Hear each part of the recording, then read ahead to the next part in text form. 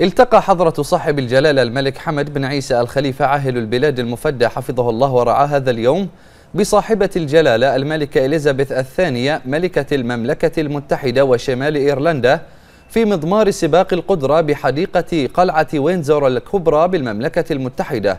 وذلك بمناسبة حضور جلالة الملك المفدى مهرجان رويال وينزور الملكي الدولي للفروسية. تلبية للدعوة الكريمة التي تلقاها من صاحبة الجلالة ملكة المملكة المتحدة وشمال إيرلندا. وتبادل جلالة الملك المفدى مع جلالة الملكة إليزابيث الثانية الأحاديث حول ما يربط مملكة البحرين والمملكة المتحدة الصديقة من علاقات تاريخية متميزة وشراكة وثيقة. وما يشهده التعاون المثمر والتنسيق المشترك من تقدم متواصل في جميع المجالات. كما تبادل جلالته مع جلالة الملكة الأحاديث حول مهرجانات سباقات القدرة التي تقام في مملكة البحرين وفي المملكة المتحدة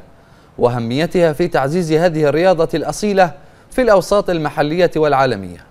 مشيدا بما تتميز به المملكة المتحدة من تاريخ عريق في رياضة الفروسية وتنظيم سباقات الخيل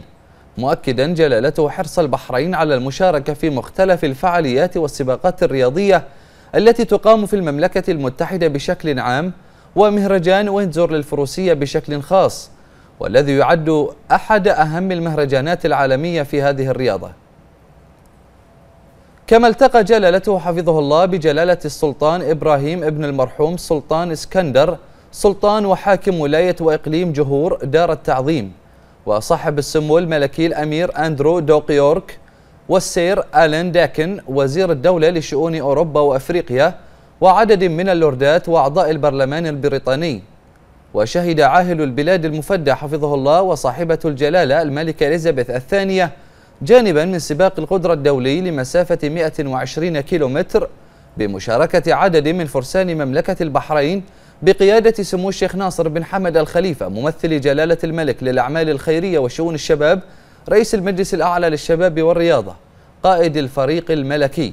ومشاركة سمو الشيخ خالد بن حمد الخليفة النائب الأول لرئيس المجلس الأعلى للشباب والرياضة رئيس اللجنة الأولمبية البحرينية رئيس اتحاد ألعاب القوى قائد إسطبل الخلدية وعدد من فرسان وفارسات مملكة البحرين والدول الخليجية والأوروبية.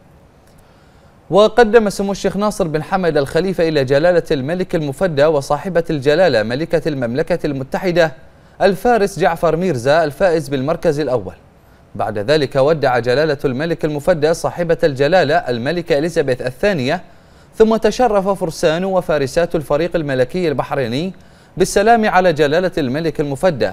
حيث أشاد جلالته بنتائج الفرسان والفارسات منوها بعطائهم في هذا المحفل الرياضي الكبير.